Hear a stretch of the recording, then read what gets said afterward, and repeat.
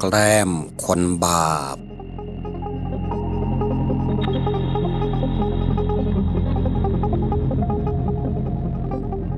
ในบรรดาสินทั้งห้าข้อ ดูเหมือนว่าข้อสุดท้ายที่ว่าด้วยสุรายาเมานั้น มันเป็นข้อพึงระวังอันสำคัญ เพราะว่าเมื่อเล่าเข้าปากก็เมื่อนนั้นแหละสิ่งที่จะเกิดขึ้นตามมาก็คืออาการเมาไม้ขาดสติขาดการยั้งคิด และเกิดความใจกล้า คือกล้าที่จะกระทำความชั่วไม่ว่าจะเป็นการฆ่าหรือการทำร้ายร่างกายผู้อื่น การลักวิ่งชิงปล้นกล่าววาจาโกกหยาบคายส่อเสียด ผิดลูกผิดเมียผิดผัวคนอื่น เรียกว่าถ้าผิดศีลข้อสุราก็จะนำมาซึ่งการผิดศีลหรือทำบาปคนอื่นได้โดยง่าย ดังเช่นเรื่องราวของชายผู้นี้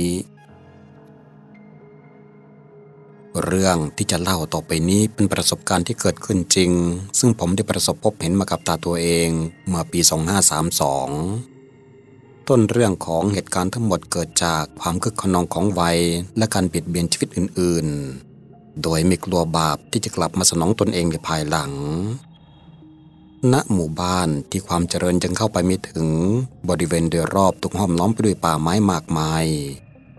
จึงไม่ผิดนักที่คนส่วนใหญ่อาจจะต้องพึ่งพาอาหารจากป่าบ้างเป็นบางครั้ง แต่คงจะเป็นคนละกรณีกับทิศสีเป็นแน่ ทิศสีกับยายบุญมีผู้เป็นแม่นั้น มีบ้านที่ติดกับบ้านผม จึงไม่เป็นเรื่องแปลกที่เรื่องราว ซึ่งจะเล่าต่อไปนี้จะละเอียดจะดูเหมือนกับเกิดขึ้นกับตัวผมเอง ครอบครัวยายบุญมีค่อนข้างจะมีฐานะ เพราะมีที่นายเช่ามากมาย จนลูกชายคือทิศสีซึ่งในตอนนั้นมีอายุประมาณ 25 ปี ทิศสีไม่จำเป็นต้องหางานทำเหมือนอย่างเพื่อนบ้าน ก็สามารถมีเงินทองใช้จ่ายยังไม่ขาดมือ ประกอบกับพี่น้องต่างออกเย่าออกเรือนกันไปหมดแล้ว จึงทำให้ทิศสีอาศัยอยู่กับยายบุญมีผู้เป็นแม่เพียงสองคนสำหรับพื้นฐานนิสัยของยายบุญมีนั้นก็เหมือนกับผู้เฒ่าผู้แก่โดยทั่วไปในชนบท แต่ทิศสีผู้เป็นลูกชายหาเป็นเช่นนั้นไม่ ในแต่ละวันทิศสีกับสมัครพวกพวกอีกสองสามคน จะใช้เวลาว่างไปกับการออกล่าเต่าล่างูสิงดงมาเป็นอาหาร ซึ่งสัตว์จำพวกนี้จะอาศัยอยู่ในที่นาที่มีลักษณะเป็นป่าไม้สลับดงไผ่และเป็นป่าหญ้าคาของทิศสีนั่นเอง การล่าสัตว์เหล่านี้ยายบุญมีผู้เป็นแม่จะคอยห้ามปรามและตักเตือนลูกชายของตนตลอดว่ามันเป็นบาปเป็นกรรม แต่ทิศสีก็ไม่เคยเชื่อฟัง มีหนำซ้ำบางครั้งยังหาเรื่องทะเลาะกับแม่ผู้คอยพร่ำเตือนตน ทุกวันทิศสีและเพื่อนต่างออกล่าเต่าด้วยอุปกรณ์ที่เตรียมไว้ไม่ว่าจะเป็นไม้ขีดไฟปืนแก๊ปและมีดยาวพร้อมตะข่ายยาวประมาณ 10 เมตร จากอุปกรณ์ที่เตรียมไว้ทั้งหมด จึงไม่เป็นการยากที่ทิศสีจะเริ่มกระบวนการแรก โดยการจุดไฟเผาป่าไผ่และเผาป่าหญ้าคาในบริเวณที่คาดว่าจะมีเต่าชุกชุมจากนั้นทิศสีก็จะนำตาข่ายไปขึงเพื่อดักเต่าที่จะหนีตายออกมาจากกองไฟตามช่องต่างๆ เพียงแค่ช่วเวลาไม่นานนักไฟก็ได้เผาผลาญป่าไผ่และยาคาราบเป็นหน้ากลอง จนเมื่อไฟสงบลง สิ่งที่ปรากฏอยู่เบื้องหน้าคือซากเต่าที่โดนเผาหลายสิบตัวสำหรับซากเต่านั้นทิศสีไม่ได้นำกลับไปคงทิ้งไว้บริเวณนั้น โดยมีหันไปสนใจเลยไม่แต่น้อย ส่วนที่หนีรอดออกมาจากกองไฟบางตัวก็มีรอยไหมบางตัวอาจจะคลานออกมาได้ ก่อนที่ไฟจะลุกท่วม มันจะพากันมาออบริเวณตาข่ายที่ดักไว้ หารอดจากเงื้อมือของทิศสีไปได้ไหม ด้วยจำนวนเต่าที่มากพอ คงจะทำให้ทิศสีและเพื่อนๆอยู่ติดบ้านปีกหลายวัน พร้อมๆ กับขบวนการฆ่าเต่าที่ได้เริ่มขึ้นอย่างเลือดเย็นทีละตัวสองตัว โดยเต่าที่ได้มานั้นจะถูกตีด้วยของแข็งที่หน้าท้องอย่างแรงประมาณห้าครั้ง จากนั้นจะถูกตะขอที่มีลักษณะคล้ายเบ็ดเกาะดึงเอาคอเต่าออกมาจากนั้นทิศสีซึ่งเป็นผู้ลงมือฆ่าก็จะใช้มีดตัดคอเต่า พื่อที่จะนำเลือดที่มีอยู่น้อยนิดนั้น มาผสมกับเหล้ารองไว้ดื่มต่อไป ส่วนกระบวนการหลังจากนั้นก็คงเป็นในเรื่องของเนื้อเต่าที่ทิศสีเลือกที่จะนำมาผัดเผ็ดหรือบางครั้งอาจจะโหดกว่านี้ โดยทิศสีจะเคาะที่หน้าอกเต่าแรงๆก่อนที่จะนำเต่าเป็นๆนั้นไปย่างไฟ ด้วยเหตุผลที่ว่าเนื้อที่ติดกระดองของเต่านั้นจะลอกออกได้ง่ายและเนื้อเต่าที่ได้จะนุ่มอร่อยเพียงเท่านั้นเอง ถ้าทิศสีใส่ใจกับอาการที่ปรากฏอยู่เบื้องหน้า ในยามที่เขานำเต่าขึ้นไปย่างบนกองไฟ เขาอาจจะลดละและเลิกการกระทำเช่นนี้ไปได้ เพราะอาการทุรนทุรายในการพยายามจะหนีออกจากเหล็กย่างของเตา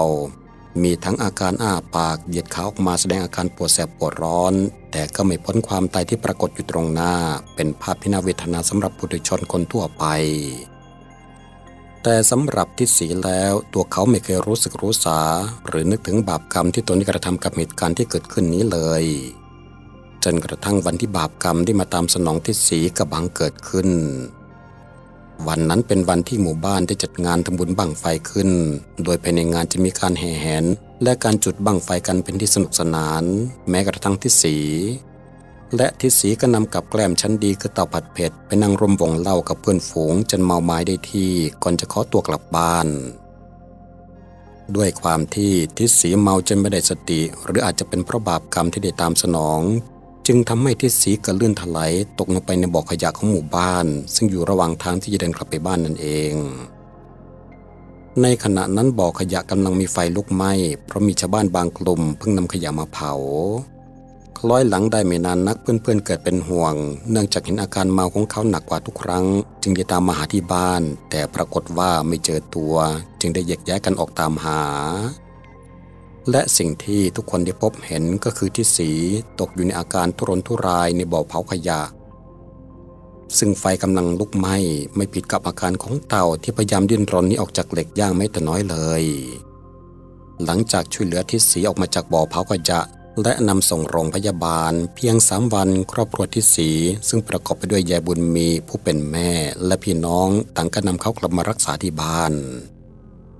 จากสภาพบาดแผลที่โดนไฟไหม้ไฟลวก จนทำให้เนื้อตัวผู้พองทั่วร่างกาย แม้แต่เสื้อผ้าก็ไม่สามารถนำมาคลุมกายได้ จะมีก็แต่เพียงใบตองที่นำมาห่อหุ้มกันอุจจาร์หรือนำมาปูรองพื้น ยามที่ที่สีจะหลับนอนเป็นที่น่าสมเพชแก่ผู้ที่พบเห็นเป็นยิ่งนัก ช่วงระยะเวลาที่ทิศสีนอนพักรักษาตัวอยู่ที่บ้านนั้น ไม่มีวันไหนที่ทิศสีจะไม่ร้องครวญคราง ความเจ็บปวดอย่างทรมานที่ทิศสีได้รับ ช่างเหมือนกับอาการของเต่าที่เขาเป็นผู้กระทำไว้เมื่อในอดีตจริง ๆ เพียงระยะเวลาสี่วันหลังออกจากโรงพยาบาล ทิศสีก็ต้องพบกับความทุกข์ทรมานอย่างแสนสาหัส ก่อนที่จะพบจุดจบก็คือสิ้นใจตาย ซึ่งถ้าหากตรึกตรองดูการตายของทิศสีแล้ว มันช่างไม่ต่างไปจากกรรมที่ทิศสีกระทำไว้กับเต่า และกรรมนั้นมันก็ได้ย้อนกลับมาหาตัวของเขาเอง สนองตัวของเขาเอง บาปบุญคุณโทษมีจริง บุคคลใดทำกรรมใดไว้ ผลกรรมนั้นย่อมตามสนอง ฉะนั้นจงทำแต่ความดีละเว้นความชั่วรักษาสินห้าไม่บิดเบียนซึ่งกันและกัน ดังสุภาษิตที่ว่าทำดีได้ดีทำชั่วได้ชั่ว เท่านี้ชีวิตก็เป็นโศก และสำหรับท่านผู้ฟังที่ต้องการสนับสนุนช่องหลวงตา ท่านก็สามารถร่วมเป็นกำลังใจกับทีมงาน ในการเผยแผ่ธรรม โดยการกดปุ่มสมัคร ซึ่งอยู่ใกล้ๆกับปุ่มกดติดตาม เพื่อรับสิทธิ์ในการชมคลิปใหม่ๆ ซึ่งจะเปิดให้สมาชิกรับฟังก่อนใคร สุดท้ายนี้ขอให้ท่านเจริญในธรรม สวัสดีครับ